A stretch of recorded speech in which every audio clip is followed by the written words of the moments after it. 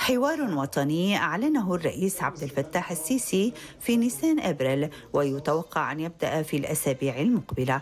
يشمل بعض فصائل المعارضة المعتدلة التي تعرضت للتهميش منذ أن قاد السيسي البلاد بعد إطاحته برئيس الإخوان المسلمين محمد مرسي عام 2013 بانقلاب عسكري. لكنه حوار يستبعد حركة المعارضة الإسلامية الرئيسية. وبعد تسع سنوات من القمع الشامل للمعارضة تستعد مصر لإطلاق حوار سياسي مصمم بعناية. ويقول منتقدون إن التحرك الموازي للإفراج عن السجناء يسير ببطء شديد. وترى شخصيات معارضة أن سرعة ومدى إطلاق سراح السجناء هي اختبار محوري لإمكانيات الحوار والاحتمالات أي تليين فيما وصفوه بأشد قمع سياسي منذ عقود إحنا شايفين كحركة مدنية وكحزب دستور إن خروج السجناء جميع السجناء الرايه غير المدنيين في أي قضايا عنف ولم يتهموا في قضايا عنف هو ده اللي هيساهم في إنجاح الحوار الوطني وإن إحنا يكون عندنا شعور كمواطنين مصريين إن النظام جاد في فتح النظام السياسي وفتح المجال العام. ففي الوقت الذي عزز فيه السيسي مكانته في الحكم سجن عشرات الآلاف من المعارضين أو المنتقدين من مختلف الأطياف السياسية وفقا لتقديرات جماعات حقوقية.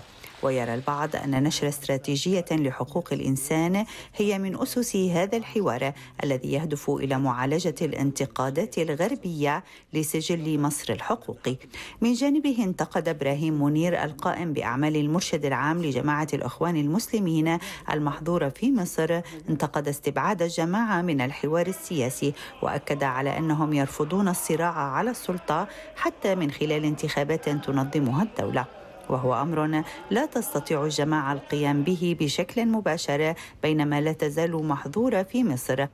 الحوار مطلوب صحيح إنما أيضا لابد أن يشمل الجميع.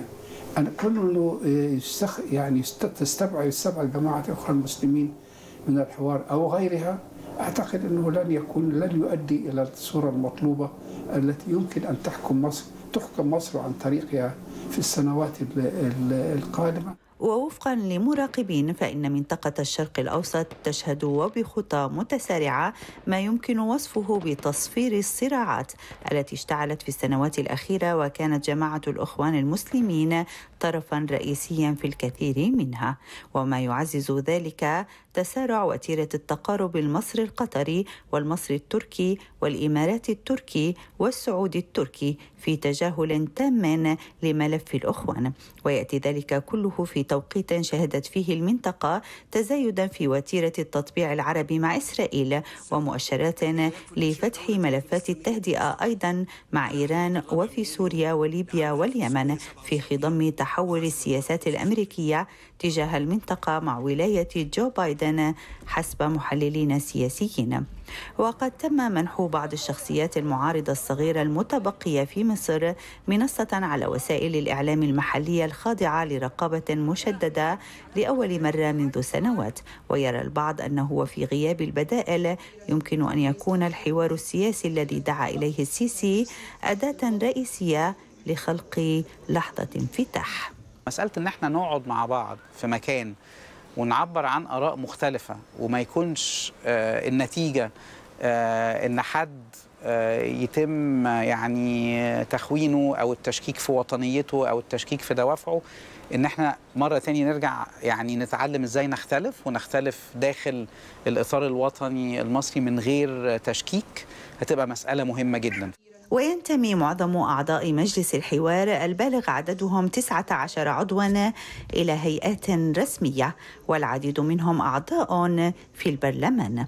وستغطي مقترحات الحوار القضايا السياسية والاجتماعية والاقتصادية لكنها ستعرض أولا على السيسي الذي سيختار ما يراه الأفضل منها.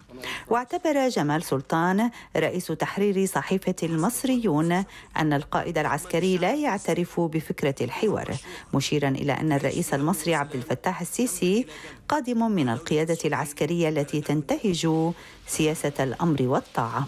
فلا مؤشر لقيام حوار وطني في ظل وجود 500 موقع إلكتروني محجوب في مصر وأكثر من 60 ألف معتقل سياسي في السجون المصرية وألاف النخب المصرية الذين لا يستطيعون العودة إلى ديارهم.